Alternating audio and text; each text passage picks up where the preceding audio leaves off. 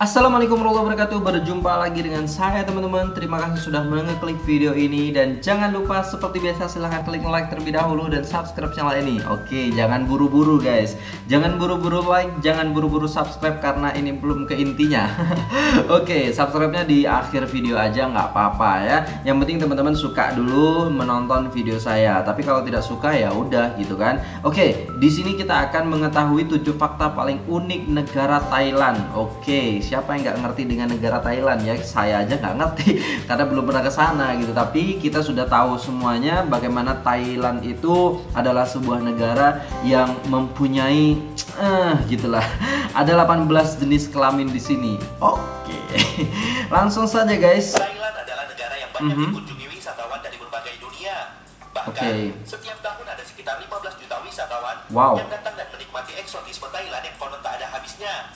Namun, di balik gemerlapnya negara Thailand, ternyata negara gajah putih ini memiliki banyak sekali fakta unik yang wajib kalian ketahui. oke Salah satu fakta unik yang rame gitu, kalau ada vlog tentang Thailand tuh pasti gitu, guys. Terbanyak di dunia. Salah satu transgender paling menonjol yang dimiliki Thailand adalah ladyboy alias wanita berkelamin pria. Tidak Oke. semua ladyboy Thailand mengubah alat reproduksinya secara permanen.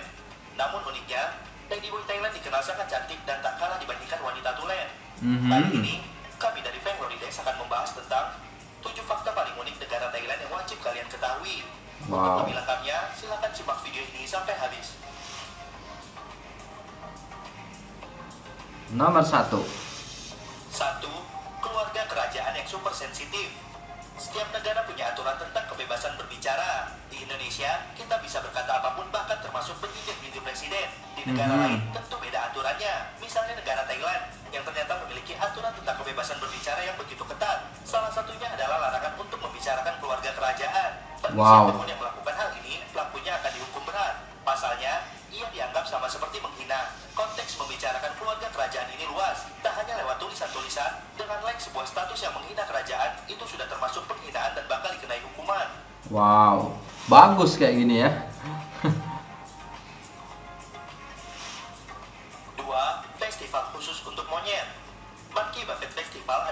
festival unik di Kuilsan, Prakan, dan Prang Samyeon.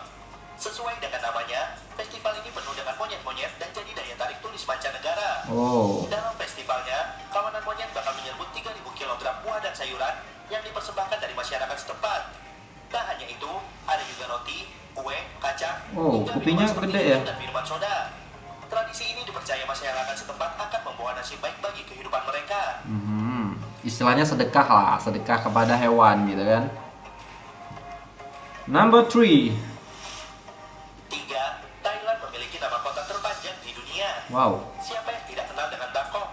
Kota ini jadi favorit traveler saat datang ke Thailand untuk berburu kuliner, datang ke kuil, atau memborong aneka souvenir khas negeri gajah putih tersebut. Tapi, Wow. siapa sangka kalau nama asli kota Bangkok sebenarnya lebih panjang dari itu. Nama asli kota Hmm. Bangkok memiliki 169 huruf Wow. yang sangat sulit untuk diucapkan oleh lidah orang Indonesia. Nama asli kota Bangkok Anda bisa lihat di layar kaca Anda. nggak bisa baca guys number four Empat, negara Thailand memiliki 18 jenis kelamin. wow kelamin apa aja ya Jenis kelamin hanya ada dua, yaitu laki-laki dan perempuan. Aha, benar. Tapi ada juga pria yang bertingkah dan berpenampilan seperti perempuan atau sering kita sebut ladyboy. Begitupun sebaliknya dengan perempuan yang bertingkah dan berpenampilan seperti pria atau sering disebut tomboy. Jadi bisa ditotalkan sebenarnya jenis kelamin ada empat. Namun berbeda lagi dengan Thailand, di mana di negara ini ada 18 jenis kelamin yang berbeda yang diakui secara sah. kok bisa gitu ya apa aja gitu oke number five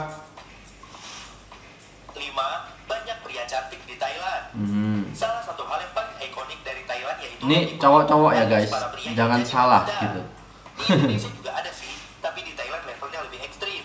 Mhm. Hal tersebut bisa dilihat dari penampilan mereka yang benar-benar sangat cantik. Bahkan begitu cantiknya, wanita-wanita Thailand sendiri sampai mengaku iri. Hal ini harus jadi perhatian bagi para pria yang ingin berkunjung ke sana. Sangat susah membedakan antara wanita asli dan juga ladyboy karena dalam segala hal keduanya begitu sama. Tak hanya oh fisik tapi juga gestur. Tapi tetap ada kok cara untuk membedakannya. Salah satunya dari cara mereka memilih toilet. Para ladyboy meskipun mereka masih pakai toilet pria. iya benar benar benar oke number six Ini udah nomor 6 dan mau ke 7 guys. Pasar maut di Thailand.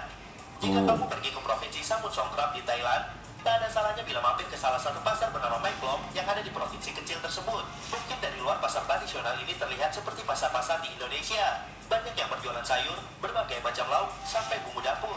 Namun, ada sesuatu yang unik bahkan tergolong ekstrim yang bisa kamu temui di pasar ini. Bukan barang dagangannya yang membuat pasar ini unik, melainkan tempat kereta. yang berada di tengah-tengah rel kereta api.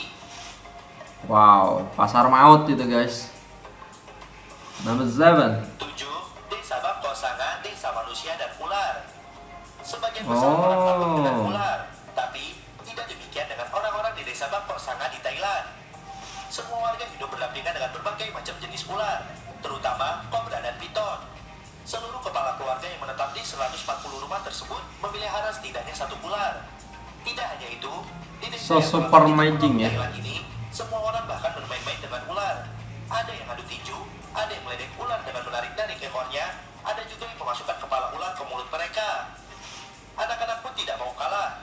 Meski masih berusia di bawah umur, Mhm. mereka semua berani untuk bermain dan bercengkrama dengan ular. Wow. Sejak usia dini, mereka sudah diajarkan orang tuanya tentang bagaimana merawat dan hidup bersama dengan ular. Bagus.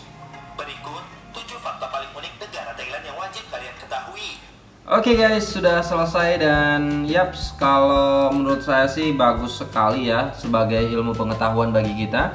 Dan di sini memang eh, tidak clickbait ya. Di sini ada 18 jenis kelamin di sini juga dibahas gitu kan. Ada kadang-kadang orang membuat clickbait seperti itu. Dan kalau menurut saya kalau teman-teman pengen ke sana ya itu tadi hati-hati guys. Ada 18 kelamin guys. Oke, dan itu sangat menarik dan apa namanya ya tradisi-tradisinya juga di sana juga banyak sekali dan juga anak-anak yang suka dengan ular, keluarga yang suka ular. Kalau saya kena ular gitu kan, lihat ular ah, takut guys ya. Ya jadi kalau eh, istilahnya ada ular di depan kita tuh lari gitu. ya seperti itulah. Itu bedanya kalau kita hidup bersama ular sejak kecil atau tidak hidup sama ular sama sekali. Oke, terima kasih sudah menonton video ini. Jangan lupa untuk like, share, komen, dan subscribe channel saya dan silahkan di subscribe kalau teman-teman suka dengan reaksi saya seperti ini. Oke, terima kasih. Wassalamualaikum warahmatullahi wabarakatuh.